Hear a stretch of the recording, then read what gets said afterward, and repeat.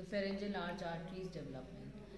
Now pharyngeal arch arteries are basically six in number and out of those six only three persist rest of them they retrogress.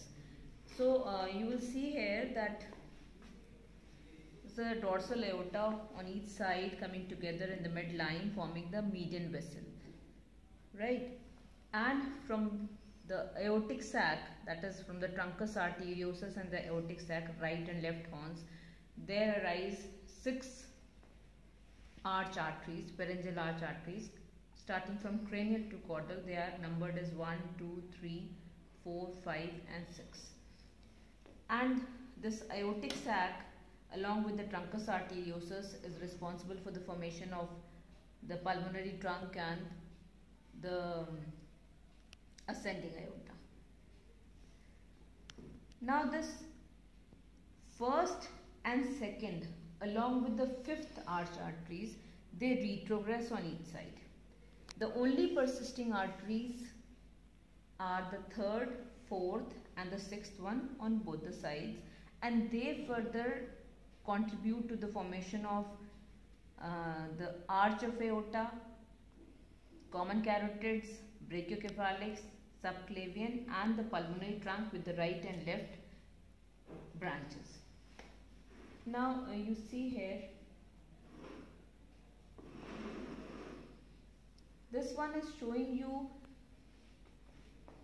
two external carotid buds which attach at the cranial ends of third arch arteries thereby responsible for the formation of external carotid arteries. Now the fourth arch artery on the left side as you can see the aorta is left sided so the ascending aorta is formed from the aortic sac and then arch of aorta is formed from the fourth arch artery. In the fourth arch artery just caudal to the fourth arch artery on the left side there attaches seven cervical intersegmental artery on each side right this um, gives attachment to the seventh cervical intersegmental artery that is responsible for the formation of subclavian artery so this is the arch of aorta from the fourth arch artery then uh, the subclavian artery of the left side from the seventh cervical intersegmental which is not shown here. This one becomes the descending aorta along with the fused median vessel. The right sided dorsal aorta retrogresses. The portion of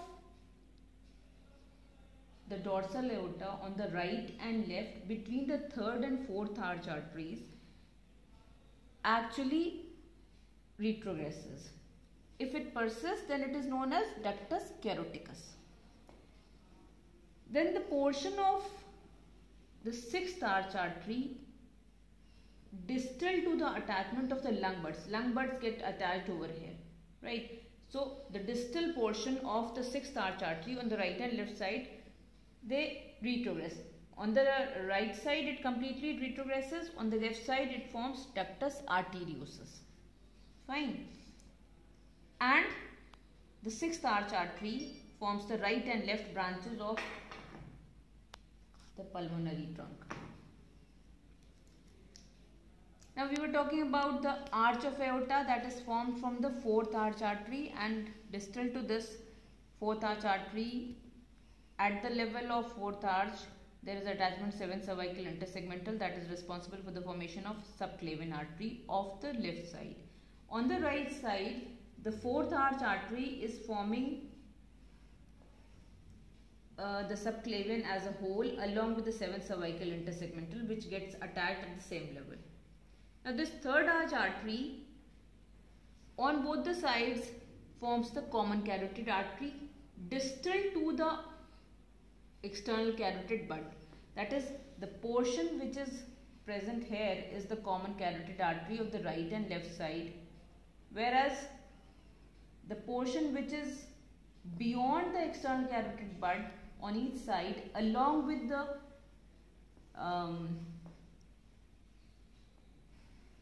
dorsal vessel cranially gives rise to the internal carotid. artery. So this becomes the external carotid artery, that is the external carotid bud, and rest of it becomes the internal carotid artery. Whereas the third arch artery at its beginning is the common carotid artery.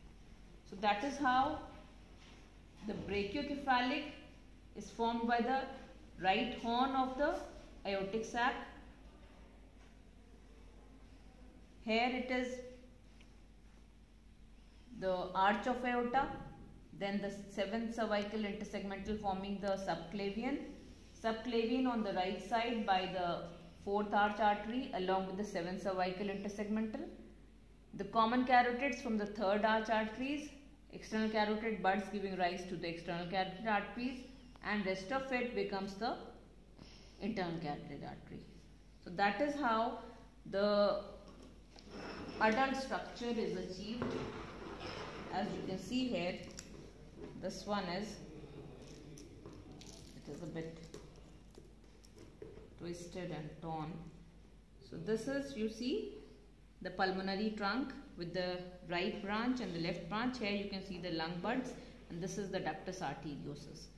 Then uh, the ascending aorta with the aortic sac um, sorry the um, truncus arteriosus and the fourth arch artery forming the arch of aorta, descending thoracic aorta.